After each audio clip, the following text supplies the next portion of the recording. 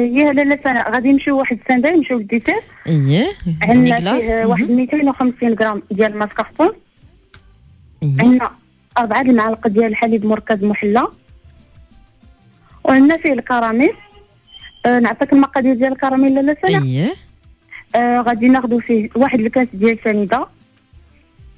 مهم. معلقة ديال جليكوز. اييه كاس ديال la crème fraîche. ومعلقة كبيرة ديال الزبده غنبداو هو الأول بالمراحل ديال الكراميل. مهم. كناخذوا كنديروا الزبدة. كناخذوا سنيده مع الجليكوز مولين كنديروهم فوق من عافيه في كاسرونة. فوق من عافية مهيلة. حتى كيذوب لينا وبدا يتعسل. عاد كنرميو عليه الزبدة. حتى كيغلى. ونديروا la crème fraîche نخليوها la crème fraîche كنديروها. كان غير كنبعدها شي شوية حيت كي بحال كيتفرقع. كنخلطو مزيان. حتى كيغلى. عاد كنخليو ونخليوه حتى كيبرد راه كيولي لينا كراميل. هو باش كنزينو هاد ال- ال- ال sundae ديالنا هاد ال glace واخا؟ وعندنا ال- ال- ال pistache ولا اللوز ولا هذا اللي بغينا ندردرو عليه من الفوق.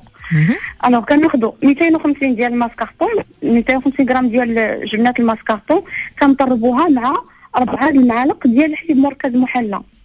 هاد ال sundae راه كيجي بحال هذاك اللي كناخدو في دوك. المطاعم ديال الوجبات السريعة المعروف أييه؟ أييه. كناخدو كنطربو مزيان ونخليوه يبرد وملي كنبغيو نحطو كناخدو les verrines ديالنا كنديرو معلقة ديال ال- ال- هذا آه، ديال إلا سمحتي هاد. جبنة الماسكاربون مع اربعه المعالق ديال الحليب مركز محلى يعني كان صافي هادشي ما كان يعني لا كنطربوهم واحد شوية كنطربوهم يعني مزيان يعني ولا غير شوية غير لا لا كنطربوهم مزيان حتى كيولي لنا بحال بحال الموس ثقيلة كتكون. عاقدة شي شوية. ياك كناخذوهم كنحطوهم في الثلاجة. حتى كتبرد شوية. عاد كناخذوها ونقدموها نحطوها في لي فيغين دوك لي فيغين هما اللي كيتحطوا في الكونجيلاتور. بغيناهم ناكلوهم. يعني ساندي كيكون ما, ما كيكونش كلاصي مزيان فعلا أي كيكون كريمي وتيكون آه. بغيناهم نخليوهم يكونوا كلاصي مزيان كنخليوهم بينهم يكونوا غير ديك الكريمة الباردة. كنخليوها كتكون كريمة باردة وكنقدموها.